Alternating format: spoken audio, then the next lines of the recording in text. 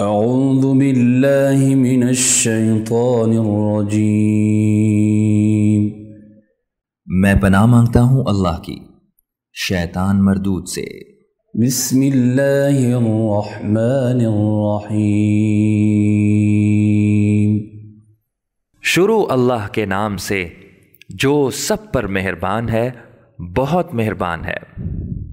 وَأَمَّا إِذَا مَا ابْتَلَاهُ فَقَدَرَ عَلَيْهِ رِزْقَهُ فَيَقُولُ رَبِّي أَهَانَنِ اور دوسری طرف جب اسے آزماتا ہے اور اس کے رزق میں تنگی کر دیتا ہے تو کہتا ہے کہ میرے پروردگار نے میری توہین کی ہے۔ كَلَّا بَلْ لَا تُكْرِمُونَ الْيَتِيمِ ہرگز ایسا نہیں چاہیے صرف یہی نہیں بلکہ تم یتیم کی عزت نہیں کرتے۔